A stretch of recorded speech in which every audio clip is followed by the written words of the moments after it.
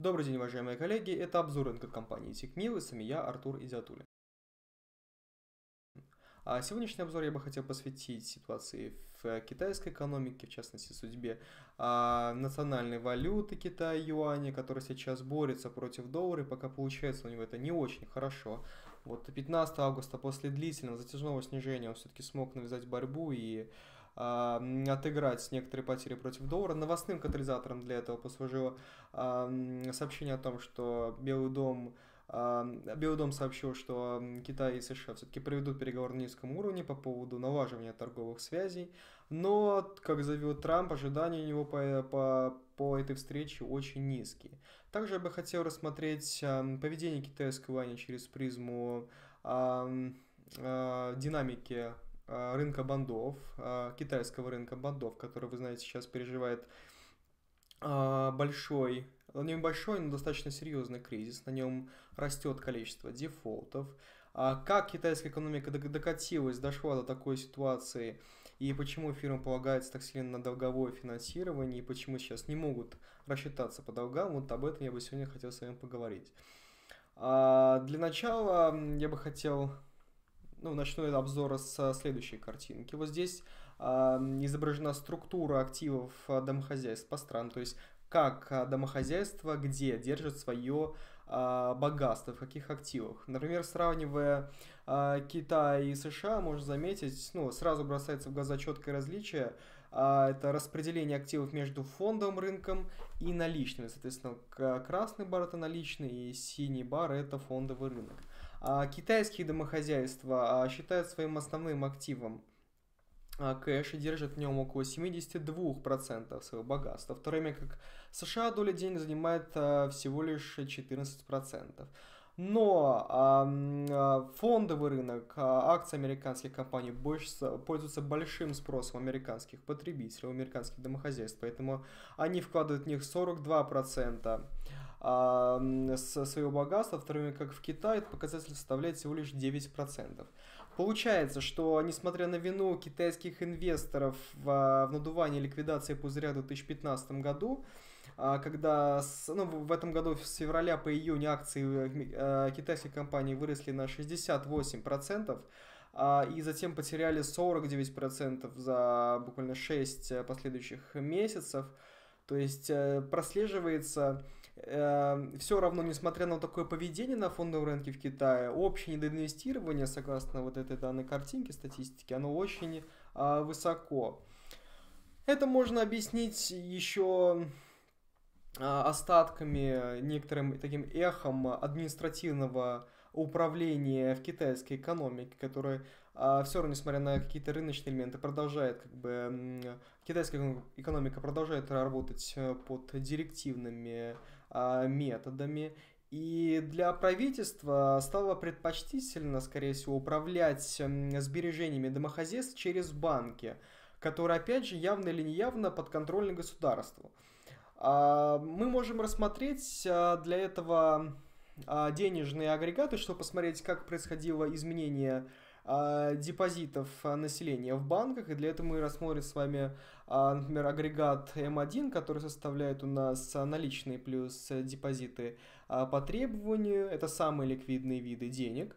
И рассмотрим с вами а, агрегат денежный М2, который составляет, который представляет собой М1, плюс еще и сберегательные депозиты, то есть те депозиты, которые, по которым конкретно начисляются проценты. Так вот, в 2010 году, если сравнить соотношение М2 к М1, то оно составляло 2,58%. То есть э, М2 превышал М1 в 2,58 раза, в то время как в 2018 году, если мы с вами сравним, то показатель э, М2, э, если мы разделим 25 миллионов примерно, разделим на 8 миллионов, то получим а, показатели в 3,21, то есть М2 превышал показатель М1 в 3,21 раза. Это говорит о том, что а депозиты населения в банках, они росли опережающими темпами, чем а, общее увеличение, будем так говорить, а, денежной массы. И э, получается, что а, дарить китайцам как бы игрушку в виде фондового рынка власти как бы не спешат. Они направляют основные сбережения в банки пока не стремятся развивать а, свой фондовый рынок, как, например, это происходит в США. А, ведь как бы в период а, стремительного роста доходов в этот период управление а, каналом сбережений административным методом позволить направлять как бы огромные средства в нужное русло, а во-вторых, как бы а, избавит а, монетарный орган китайский от каких-либо фондовых пузырей на рынке. Ну, это вот такой, скорее всего, был замысел китайского правительства. О том, что ситуация на фондовом рынке не волнует монетарный орган, как бы об этом говорил Народный банк Китая, он выразил а, он, он не выразил особого беспокойства по поводу того, что происходит на фондовом рынке, о том, что голубые фишки а, просаживаются, и поэтому а, заявил, что он а, будет сосредотачивать внимание на каких-то других показателях, но не на фондовом рынке, но не на фондовый рынок.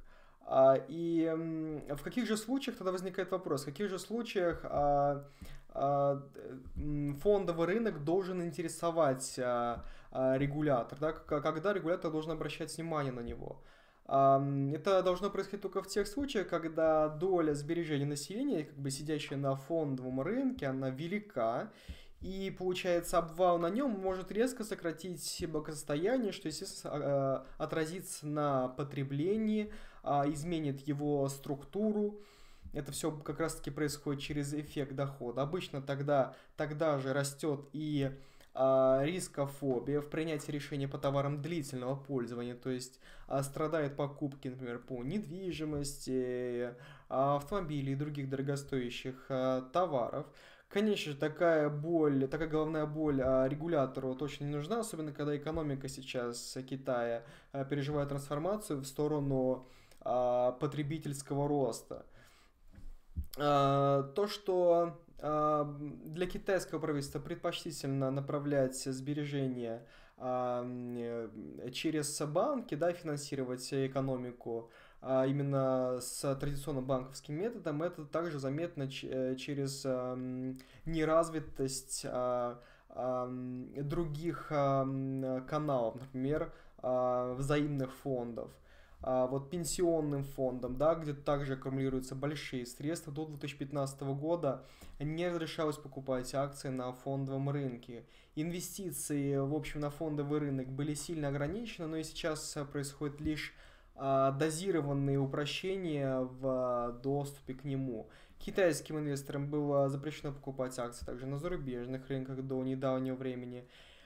Как следствие, это а, порождало перекос в структуре капитала компании. То есть, эм, а, если сбережение направляется преимущественно, население направляется преимущественно в банки, то, следовательно, компаниям а, приходилось прибегать в большинстве случаев или к долговому финансированию, или к собственному капиталу. Причем а, долговое финансирование, естественно, поступало из банков, и избыток эм, э, средств, а также директивные методы снабжения кредитом порождали у, бан у банков известные агентские э, проблемы, когда между банками отсутствует какая-либо конкуренция, и у них были просто поставлены задачи обеспечить кредитом компании и так далее. И поэтому они, возможно, неверно оценивали риски, когда выдавали а, деньги в кредит. А, и а, кампания по снижению, когда власти все-таки опомнились и начали проводить кампанию по снижению финансового рычага, она была начата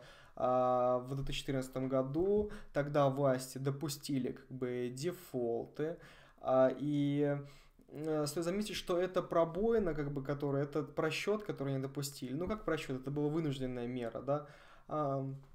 Это, это пробоина как бы оказалась критической для правительства, которую сейчас да, они до сих пор не могут а, закрыть. А, чтобы предотвратить а, дальнейший рост а, дефолтов, количество которых увеличилось на треть в первых четырех месяцев 2018 года по сравнению с 2017 годом, правительство сейчас э, должно решить или вновь позволить наращивать рычаг посредством увеличения а, ликвидности в банковском секторе, либо поддерживать экспортеров через увеличение выручки в юане. Сдерживать дефолты было бы неразумно, учитывая скорость с которой местный, местный рынок бандов улучшается в качестве. Вот есть кредитное агентство Dagong, которое это местное китайское кредитное агентство, которое сортирует банды по их качеству. Как видите, уровень темпы снижения качества, то есть те банды, которые переходят на более низкий уровень, эта скорость э, перехода резко увеличилась. Как раз таки говорит о том, что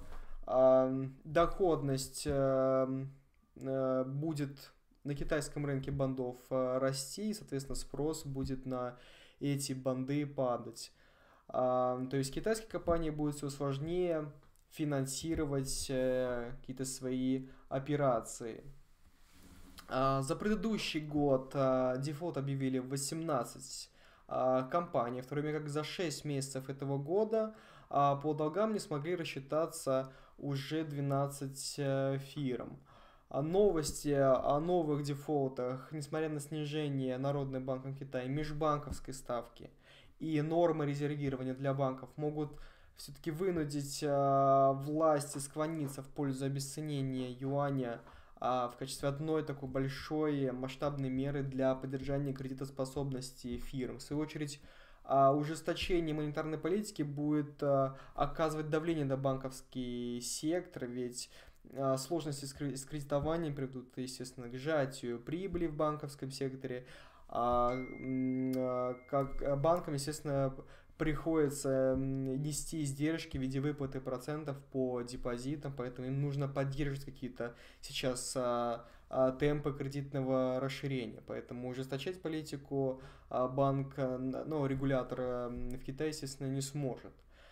А, в свете нарастающих а, проблем в китайской экономике, которые, скорее всего, хуже проблем 2015 года, властям предстоит провести еще более а, скорее всего, провести еще более резкую девальвацию юаня, чем три года назад.